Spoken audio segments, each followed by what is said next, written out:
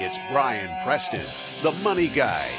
So let's talk about what are these four financial mistakes and how can you equip yourself to know if you start feeling like you want to move in this direction, you can avoid. And the first one is probably no surprise, but I think it's going to hit close to home for a lot of folks is going to cash. By the way, this is an interesting one to bring up because everybody who's done this, they're like, wait a minute, I thought this show was the mistakes we saw. And right now you're feeling pretty good about worked yourself. pretty good for me. Because, but I'm telling you, if we fast forward five years in the future, you're going to look back and go, wait a minute, why was I in cash? Because it is right now a very prideful moment that everybody who's in cash is probably feeling really good about the fact that all asset classes, it doesn't matter, even what's perceived as safe, like bonds, they've been struggling because of the rising interest rate environment. Stocks obviously have the volatility of a bear market. You're feeling really good if you did go to cash. And you may be asking this question like, are people really doing this? Well, the answer is yes. If you look at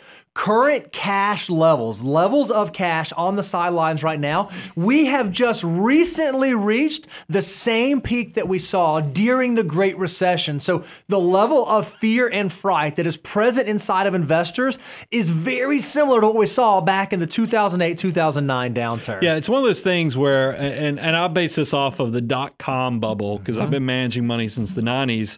Is that Fidelity a long time ago had this great illustration? I hadn't, hadn't been able to go track it down, where they actually showed where cash levels were versus the S and P 500, and it's amazing how, from a behavioral standpoint, the hoarding to safety of the cash, the feeling, the perceived feeling of safety, is actually the peak financial opportunity mm-hmm. when people should be thinking about diversifying into equities because of that long-term opportunity. Now, you may be asking the question, okay, guys, I I don't understand. Why is this bad? I mean, you've already noted all major asset classes are down this year. So if I were in cash, I'm actually doing better. Well, we are in this unique moment in time, and you say this all the time, Brian, where right now, what feels safe is actually risky and scary. And what feels risky likely is the safer place to be. And here's why we suggest that because we know that when markets turn, when the financial uh, markets do recover, it often happens very quickly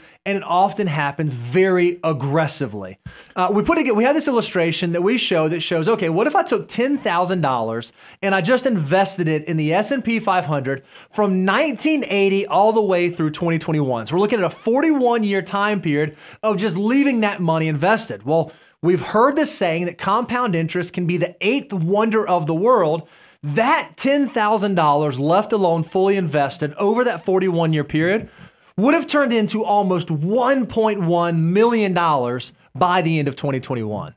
Well, also, I think it's um, and look, I want to bring it back to this chart, but I think inflation is something that also has made 2022 Oh, yeah, so sure. unique, and the fact that everybody who's got cash, and look, I love even my own savings are getting close to three percent Mm-hmm. right now, but I also know that inflation is eight plus percent Mm-hmm. currently, so there's actually a loss of purchasing power over the long term. That's kind of a scary Absolutely. thing, and it's back to what is feels and is perceived as being safe actually in the long term could be risky because I do know talking about investment assets the the spread pretty much the same period of time 1980 all the way through mm-hmm. 2021 the spread between inflation and rate of return meaning after inflation was mm-hmm. around 8.9% from from some of the research we've done in other shows purchasing power is still preser- preserved by being an investor as well as your long-term performance but you can't miss those key days That's exactly right. The way that you get that 8% plus real rate of return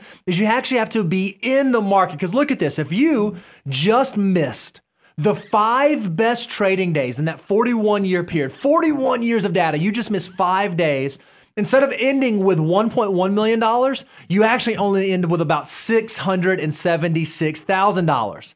If you miss the 10 best days, that number drops to 487,000. The 30 best days, only 176,000. And if you miss the 50 best days, in that 41 year period, your $10,000, instead of turning into 1.1 million, would only turn into $78,000. Well, we know you can't choose when the best days are or when the worst days Sure. are. So the best thing to do is kind of just drive through it, always be buying.